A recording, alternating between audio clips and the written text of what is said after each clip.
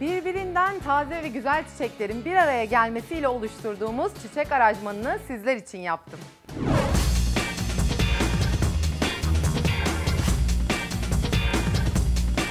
Mis gibi çiçeklerin içinden merhaba. Siz de kendinize ya da sevdiklerinize çiçek aranjmanları yapabilirsiniz. Bu rahatlatıcı ve estetik hobiyle kendinizi bambaşka bir dünyada hissedebilirsiniz. Merhabalar Erol Bey. Merhaba Müge Hanım. Biz şimdi bir çiçek aranjmanı yapacağız Erol Bey ile birlikte. Ee, peki nasıl bir aranjman gerçekleştireceğiz? Kırmızı renklerde, yeşil renklerde bir aranjman yapmak istiyorum.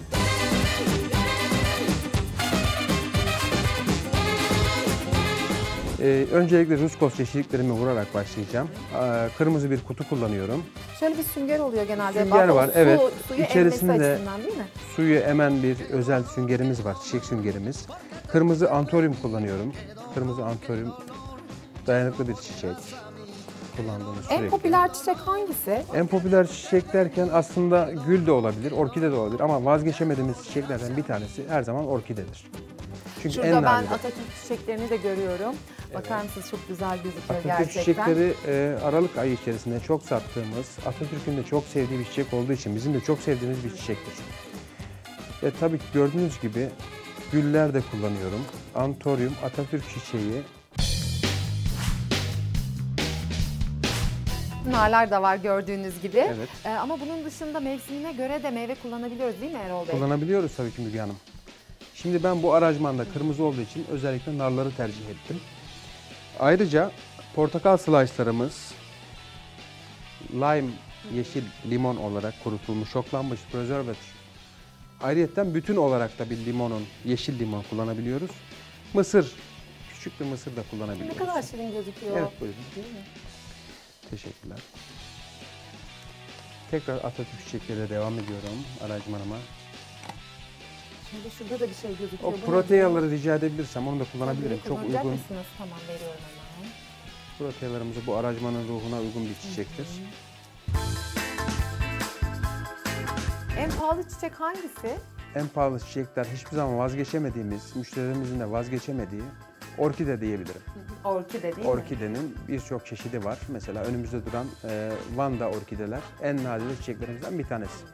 Hatta orkideyi alıyoruz dökülse bile o tomurcukları tekrar tekrar çıkıyor. Tabii ki her sene yenileyen, sevgiyle tekrar açan bir çiçektir kendisi. 12 yılda ilk çiçeğini veren ve zor bir bitkidir yani.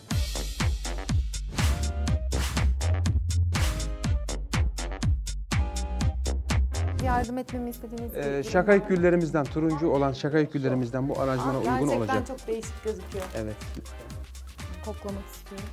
Kıyafetime de uydu aslında bakar mısınız? Çok da uygun oldu. Teşekkür ederim.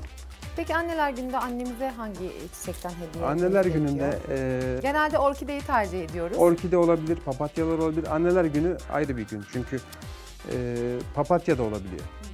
E, Gül de olabilir, orkide de olabilir, her şey olabilir. Annelerimizden değerli hiçbir şeyimiz yok çünkü.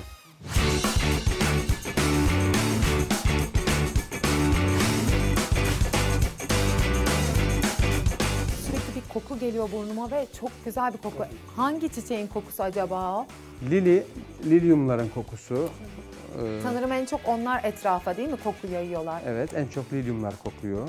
Ondan sonra diğer çiçeklerin de kendine has kokuları var. Orkidelerin yanınızda hemen yanı başınızda beyaz orkideler, simbidium. Kendine has bir kokusu var. Çiçek kokusuz olsa bile ya- yaşattığı duyguyla size mutlaka bir şeyler hissettiriyor. Şu anda az önce gördüğünüzde bu kutuda hiçbir şey yoktu. Ve şu anda bir duygusu var bu çiçek bir şey yansıtıyor. efendim.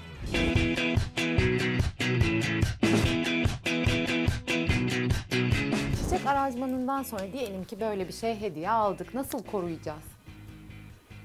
Bir aranjmanın şu anda bu aranjmanı yapabileceğimiz koruma olarak sadece su ilave edebilirsiniz. Çünkü altında sünger var.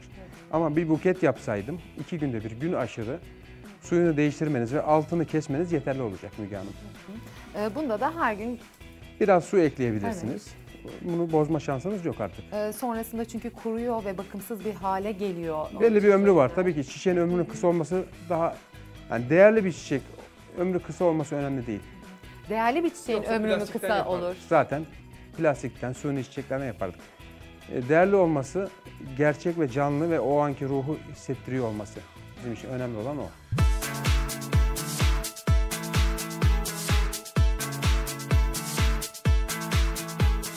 güzel oldu. Ellerinize sağlık. Teşekkür ederim. Bu aranjmanı da bugünün hatırası olarak size armağan etmek Çok teşekkür ederim. Çok sağ olun. Gayet uyumlu oldu zaten bana. Vermeseniz de ben zorla böyle götürecektim bunu. Çok sağ olun. Çok keyifli bir konuydu gerçekten. Siz de kendinize ya da sevdiklerinize böyle çiçek aranjmanları yapabilirsiniz. Başka bir konuyla görüşmek üzere.